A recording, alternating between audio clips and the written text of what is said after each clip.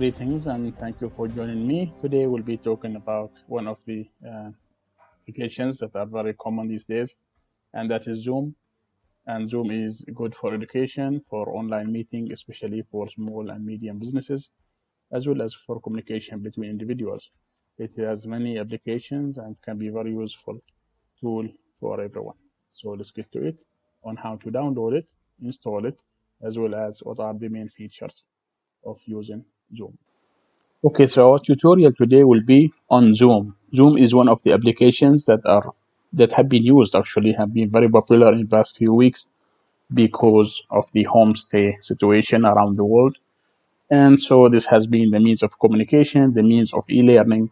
So it will be very nice to be able to use it and actually compare to other uh, software out there or other platforms out there uh, like uh, Google Meet, which I discussed in another video. You probably can see it here. And also uh, Microsoft Teams. Zoom is probably is very good application for the small and medium uh, businesses simply because it has 40 minutes free for the basic account and it is actually free for one-on-one meeting. So if you have only two in the meeting, it's fine. You could use it as much as you want. But if it is more than that, then you will just be allowed 40 minutes and then you have to restart the meeting again. So uh, we'll search for Zoom.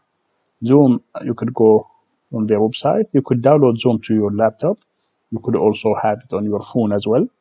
And the good thing about it compared to, for example, Google Meet, where you can only share the full screen and share only a window, here you can share a whiteboard, you can share a whole variety of things in Zoom. So I highly recommend it. There have been talks about the security issues with Zoom, but that's mostly related to the cloud uh, servers and it's not directly the application. And that has been solved.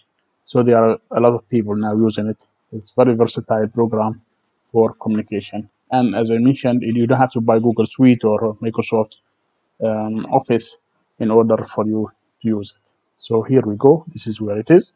So this is basically the the web page of Zoom. As you can see, the, logo here is very clear. And then you can see where you can download it. You could go here. The whole variety of of plugs in plugins. So if I go like for the meeting client, which we are interested in, here is the one we are looking for. But remember, there are also other plugins for a variety of uses. There's plugin for Outlook, plugin for IBM Notes. There's a whole plugin for extensions for Skype, for a few things. There's also applications, as I mentioned, for Zoom in your um, iPhone as well as for Android devices. But we are interested in downloading the one that is here in uh, Microsoft Windows. Once it is downloaded, you could install it. Now it is downloading. It's not really a huge file, uh, so it is very very simple application, uh, and it has plenty of users. I have downloaded it actually, and I already installed it. It is very basic regular installation process. It doesn't take too much time, so you are able to do this. Now let's open Zoom since it's already here. This is where it is. Probably um, install it once you have it. The same basic installation all you need to do is actually for for uh, Zoom to work is um, an email registration email. Once you have it open, you basically log in with your um, your account. So once once you install uh, Zoom, this is the first screen that you get to see. Probably a different background here, but it's more or less the same thing. Here you see the new meeting when you can start a new meeting here, okay, or you can you know join a meeting here you need the um, the ID of the meeting or the link sent to you by email or by text or directly here in Zoom. You could also schedule a meeting. You can schedule that and send it to participants either um, directly or indirectly by setting up a calendar, Google Calendar or Outlook. It supports plenty of, of options here for scheduling a meeting. You could also share the screen as well, of course, and share many other applications, just like you do with other uh, video conferencing. For to set up a new meeting, this is what you do. You click here, and then it opens the um, the uh, new meeting window. It starts to connect. Here it is connecting right now. And what you see is, is a virtual background, and that's very interesting for privacy in Zoom compared to, uh, for example, Google Meet or Microsoft Teams. This is the screen is asked me to join with computer audio. Obviously, I would agree. If not, you know, you can use a variety of audios from here. I'm using headset. Okay, you can also have plenty of control here, especially if you have students and so on. This is the camera. You can stop it anytime. It will show the the avatar or your picture there instead. Okay, and you can also mute the mic as always. So unmute the mic. Here in the video, you could change the background. You download background and you can change background to anything you like or have no background. It's up to you. So if you are interested, this is a very nice way to like uh, have some privacy while working. Good thing about Zoom also, you can record in MP4 all your meetings and you can make actually separate audio for each participant as well. So it's very interesting. Um, to have this. There are plenty of options for the video and the audio, as well as here on the screen. So the options and settings are all here. You check your mic, you check everything is working. This is where you do it in the settings. So once that is done, then you could probably do uh, the next best thing. Um, there's also a chat. Forgot to say that there's a chat. This chat for everyone or for whoever is participating in the meeting. So you could send it to just one colleague or to send here uh, hello to all. This will be seen by everyone, but you can send it to a particular uh, participant. If you are going to directly uh, share a screen, whether have a full screen shared, that means everything. Now I'm sharing the full screen. That means I'm sharing the whole Windows, you know, application. All of this is being shared. So I can also change the sharing options to, to the whiteboard.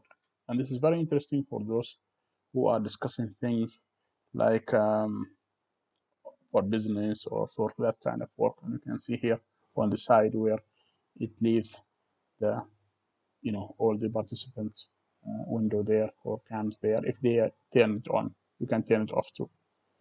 And here you can have uh, text, any kind of text, a variety of text okay you can have um, all kinds of um, pictures and drawings for your planning and so on uh, you can have stamps a variety of stamps here okay you could have um, highlighting points to the participants for example this one you can see it here.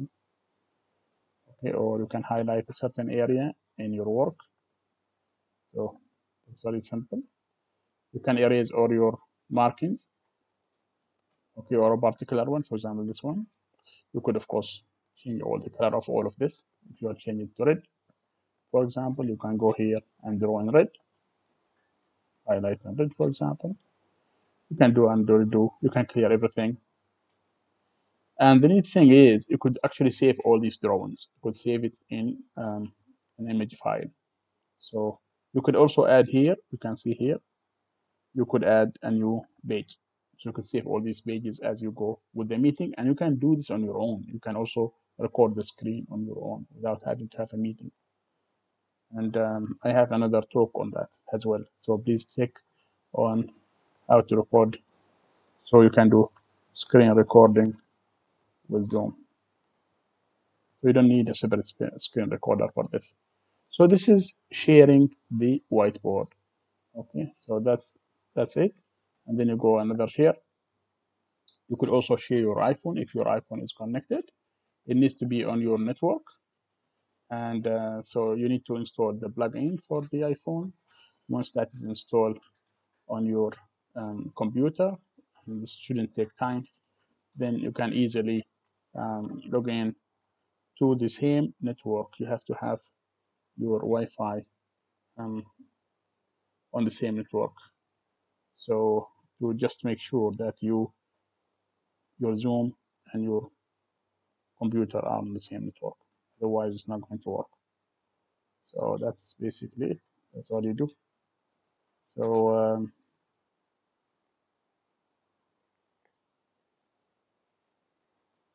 once this is downloaded, you can share the um, the iPhone or iPad window with your colleagues in the meeting. That's what's interesting about it.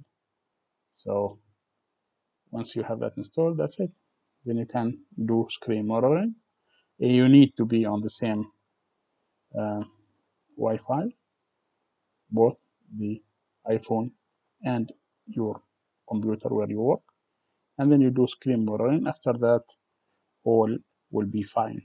So you do just screen mirroring and you click on same thing just like here. There you go. You click on that on your iphone. Now already share sharing that on screen just by as you would do scroll down with your iphone or ipad and then select my, your internal network that's it. And then you can actually you can see here everything is being shared on your phone. So this is basically my phone.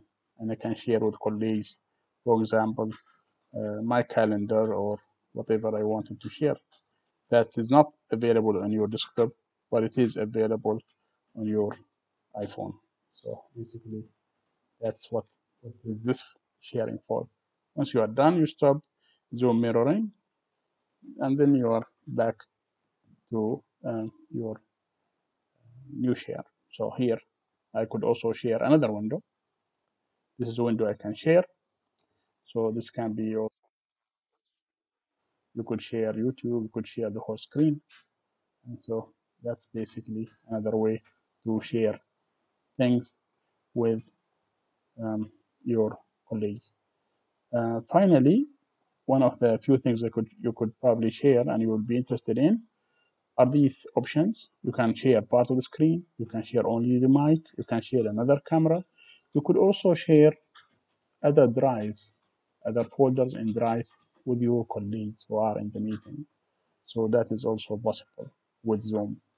Um, and finally, once you are done, you end the meeting and that's it. One last thing before I just end this meeting, you could go here and record on this computer everything you do. You can see here it's recording now. And once you are done recording you just stop it okay? And then once you end the meeting like here you end the meeting.